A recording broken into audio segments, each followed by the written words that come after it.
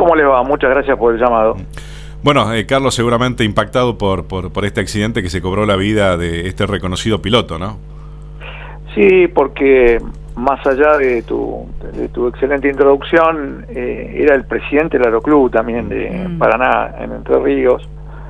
Y la realidad es que una persona con muchísima experiencia y muy bien entrenado, porque en definitiva todos aquellos que hacen este tipo de vuelo, que me refiero al acrobático, tienen dos pilares, ¿no? Uno es el avión, que tiene que ser especial para este tipo de, vuelos, y el entrenamiento del piloto. Y la realidad es que Cristian tenía las dos condiciones. Si el avión era único en el país, nuevo, bien mantenido, eh, en un lugar maravilloso para volar, eh, libre de obstáculos, que también eso influye y mucho, y sobre todo la vasta experiencia de él como piloto acrobático. Entonces, a veces en, lo preliminar uno dice, ¿qué le porque siempre en la reflexión inicial dice, ¿qué pudo haber pasado en el avión para que haya perdido el control de la manera que lo perdió y no lo haya podido recobrar, ¿no? Mm.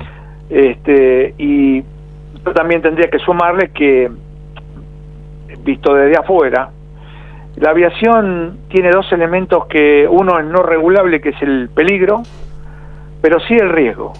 Entonces ustedes me dirán, ¿qué nos quiso decir con esto? Eh, en estas dos variables, el peligro es indiscutible, porque en realidad uno está haciendo algo que por sus propios medios, me refiero al hombre, con todos los géneros, pero digo, hasta aquí no lo puedo hacer, que volar. Necesitas de otra cosa, que es la máquina, el avión, pero la valoración del riesgo sí, y ahí es donde hay que tratar de que eso no esté ni en paralelo ni junto, porque cuando el riesgo se asoma, se acerca al peligro, hay, hay eventos, accidentes o, incidentes, ¿no? Mm, seguro, seguro. Su experiencia, su experiencia en, este sentido, eh, lo, lo, lleva a, tener algún tipo de hipótesis de lo que le puede haber sucedido? Mira, eh, por eso dije de entrada y, y, aprovecho y con mucho respeto nosotros todas estas valoraciones en nuestro programa arroba ambiente de vuelo que va vía Instagram y lo recomendamos. Eh, lo, ponemos al servicio de quien te escucha y esta no es la excepción. Uno, como eh, primera hipótesis, siempre valora la, la posibilidad que el avión haya tenido algún problema en el cual él no lo haya podido controlar porque de la manera que se precipitó a tierra no es normal, eh, a menos que eh, haya tenido un desvanecimiento, mm. que eso también formará parte del estudio y que justamente ante una eventualidad directamente no comandó el avión, ¿no? Mm. Pero cualquier cosa que, que pudiera presentarse, lo único que sí es cierto, y esto es bueno recalcarlo, que como se encontraron los restos del avión, eh, para lo que tiene que ver con una evaluación de lo, que pudo haber pasado, todas las partes que se encuentran tienen ADN y eso es suficiente para poder determinar finalmente qué es lo que pudo haber pasado. ¿no? Eh, o sea, una vez que terminen las investigaciones, la pericia, seguramente vamos a saber la, causa, ¿no? Ahora, eh, qué cosa, ¿no? Porque los argentinos somos campeones del mundo en opinar de todo, ¿no? Y ya comenzaron a hablar de que eh, que, no hay seguridad, bueno, un montón de cuestiones de, gente que por ahí no, no, tiene experiencia y no tiene conocimiento en, el tema.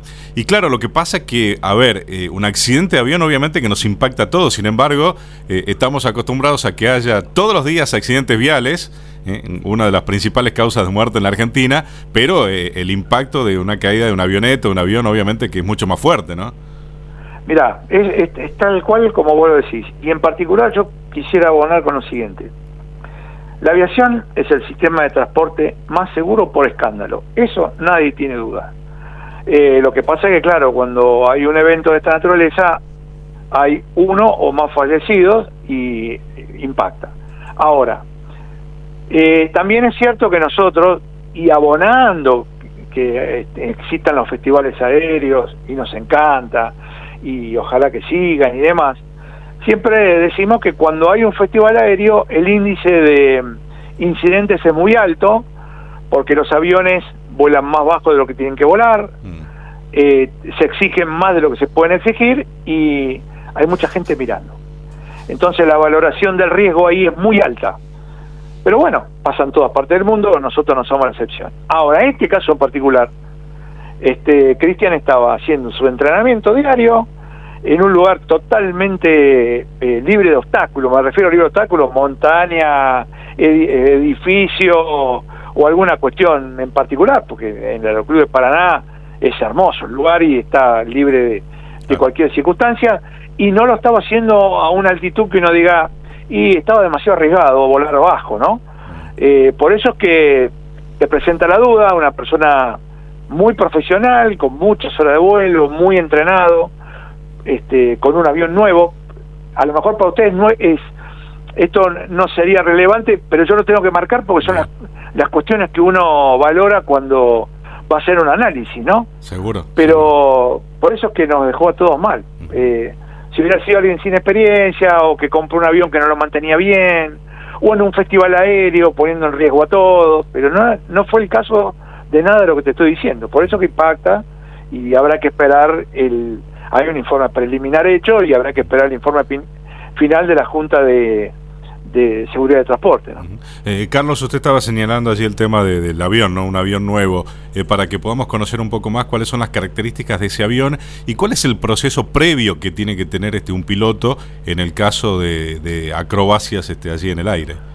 Mira, eh, los aviones que mm, se utilizan para acrobacias, em, para que la gente lo entienda bien, están sobrepasados en la relación de, de la potencia del motor con, con la estructura que tiene que, que hacer volar, me refiero que están sobrepotenciados, después tienen refuerzos sobre sus planos porque la, la exigencia que se le hace es grande.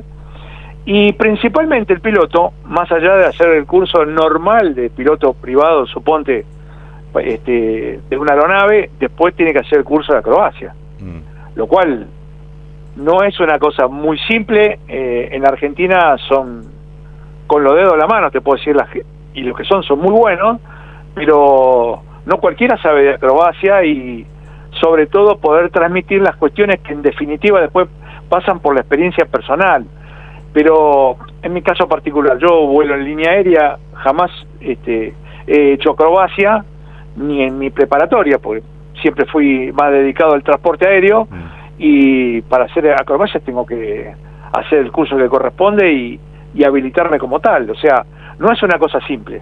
Mm. Eh, por eso que, insisto y ratifico, un hombre muy preparado de todo punto de vista, con un avión, mira, todos los aviones son buenos en la medida que hagas el mantenimiento mm. que corresponde en las circunstancias por horas y demás. Y, y este era el caso. Entonces vos decís, eh, vamos tachando cuadritos de lo que potencialmente podría haber sido y no fue, ¿no? Seguro, seguro. Ahora, Carlos, hablando de, de, la aviación comercial, este, bueno, sabemos que la Argentina tiene un movimiento importante en este sentido, con tantos aeropuertos que, que hay aquí en, nuestro país. Eh, ¿Cómo son los controles? ¿Hay en, en, la Argentina seguridad en ese sentido? Mira, la seguridad operacional, que de esto se trata y de lo que estamos hablando, eh, en la Argentina está en un nivel aceptable producto de las capacidades de los operarios o de los actores, me refiero. Los pilotos, los tripulantes de cabina, los despachantes, los controladores y los mecánicos, en el orden que vos quieras. Mm. Y el sentido común eh, es una valoración más en esto, porque de alguna manera, comparado con otros lugares, estamos demorados en lo que tiene que ver con tecnología. Mm, Eso es inevitable. O sea, el recurso humano es bueno, es de, buen nivel. ¿eh? Eh, lo que está faltando es la, cuestión de, tecnología. Y, eh, y, mm. eso tiene que ver con las inversiones. Y después se está desarrollando todo un recambio en lo que tiene que ver con la parte aeroportuaria de gente que iba a trabajar porque no le quedaba otra a aquellos que se han o se están capacitando en lo que tiene que ver con la operatoria aeroportuaria. Hoy un jefe de aeropuerto tiene estudios dedicados a la aviación y sobre todo al manejo de aeropuertos, que hace años atrás o años atrás no lo tenían. Si ponían a alguien, designaban a alguien como jefe de aeropuerto y después con, la, con los años que pasaba aprendía por, por la experiencia propia del paso de los años. Entonces, todo ese tipo de cosas hace que vayan un franco ascenso en cuanto a mejora. Vuelvo a insistir que es muy seguro volar en Argentina, más allá de lo que escuchamos o dejamos de escuchar, y todo lo que tiene que ver con la demora en la cuestión de las inversiones mm. se suple perfectamente con el sentido común de los actores, o sea, el factor humano. Está perfecto, está perfecto, se entiende lo que quiere decir Carlos. Le agradecemos enormemente estos minutos con LB12. Al contrario, un placer muy grande, le vuelvo a resaltar el tema de arroba ambiente de vuelo vía Instagram, que ahí los esperamos este, como para poder saltar todas las dudas. Perfecto, me parece bárbaro. ¿eh? Un abrazo grande. Adiós, gracias. Hasta luego. Hoy estamos hablando con Carlos Rincelli, él es periodista, piloto de avión, analista aeronáutico, bueno, hablando respecto a este accidente que se cobró la vida de este, un reconocido piloto allí de acrobacia en la provincia de Entre Ríos, este, específicamente en la ciudad de Paraná.